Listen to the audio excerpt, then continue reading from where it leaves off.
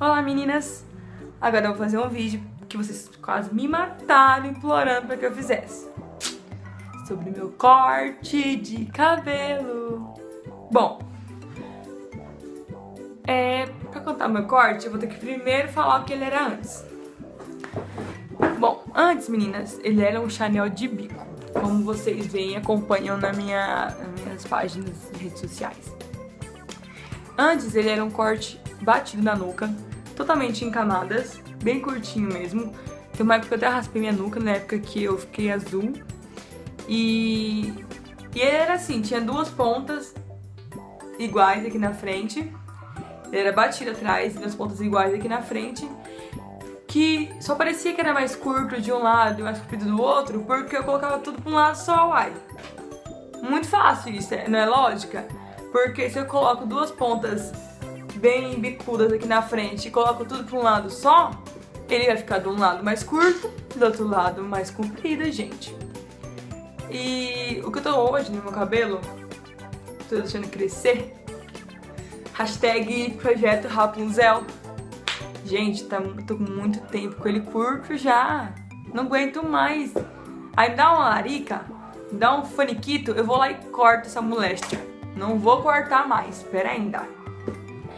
Enfim. Daí agora deixando crescer. E lá na, no salão que eu trabalhava, no Shades Studio, eu cortei com a Cida Alves.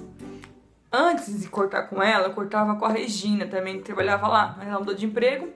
Daí, que cortar com a Cida, que ela é ótima. Muitas fãs minhas vão lá no salão e cortam com ela, e ela dá até um desconto, sabia? Então, meninas, cabelo cacheado é uma coisa muito difícil de cortar, porque tem que cortar ele seco, muito diferente do que muita gente pensa. Porque pensa, eu meu cabelo é meu cabelo é desse jeito seco, armado, bem cacheado.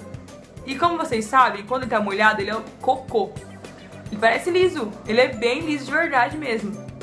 Então não tem como saber como ficaria meu corte com ele molhado.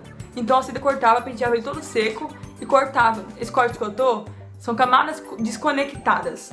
Porque não é um corte totalmente assimétrico. Ela não, ela pegava assim, cortava tudo, depois pegava um pouco, cortava tudo. Não, ela foi cortando. Tanto é que nesse lado aqui, até mais tem umas camadas totalmente que nem. Mim, Nathalie, se você for fazer esse corte tô fazendo você e quiser um dia alisar, fazer escova, vai ficar uma bosta. Porque não foi assimétrico. Então ela foi pegando e cortando camadas desconectadas pra ficar bastante volume, porque eu queria deixar crescer, mas não queria é, diminuir o tamanho. Daí ela falou assim, esse é o corte ideal. Daí na época eu até fiz uma, franja, uma franjinha bem curtinha. Meu cabelo cresce que nem capim, já tá enorme essa franja. E eu adorei esse corte, quero aderir ele agora. Tô deixando ele crescer, mas não quero deixar como ele era antes.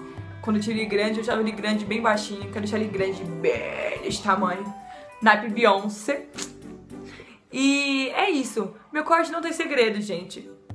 O que é que eu indico pra vocês? Vão na cabeleireira. Se vocês quiserem o Chanel, o Chanel de bico, que é o que eu tinha antes, peça o Chanel de bico, cortem assimétrico um lado no outro, as pontas iguais, só que joga pro lado. Deixa esse franjão aqui na frente, fica incrível. Acostumem com essa franja na frente, fica lindo, viu? Ou se quiserem meu corte, ele tá aqui no ombro, ó. Tá bem repicado embaixo. E em cima ele tá bem curto, tá vendo que tem a parte bem curtinha aqui em cima? Pra dar volume, gente. Então, quanto mais camadas vocês derem no corte de vocês, mais volume vai dar, porque meu cabelo não tem volume nenhum naturalmente.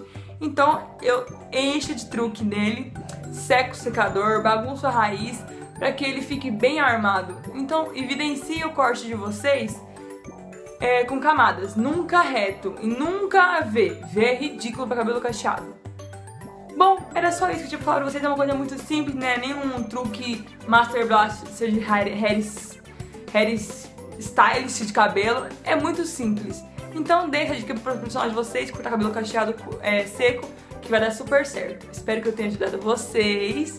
O próximo vídeo será sobre a cor do meu cabelo, as cores que eu já tive. Então se inscrevam no, no canal e dê o um curtir se vocês gostaram. Obrigada, lindas, pelo todo carinho que vocês me dão. Thank you.